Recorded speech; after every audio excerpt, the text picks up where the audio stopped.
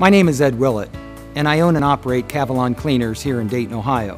We specialize in the cleaning and deodorization of garments and household textiles affected by fire, smoke, and water damage losses for the insurance industry. We also specialize in the cleaning of draperies and top treatments for the residential and commercial markets.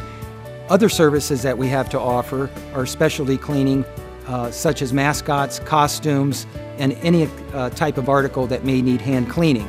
Our large loss vehicle offers on-site inventories for the large loss adjuster for fire, smoke, and water damage claims. So when you have the need for cleaning, think of Cavalon. We offer free advice and free estimates.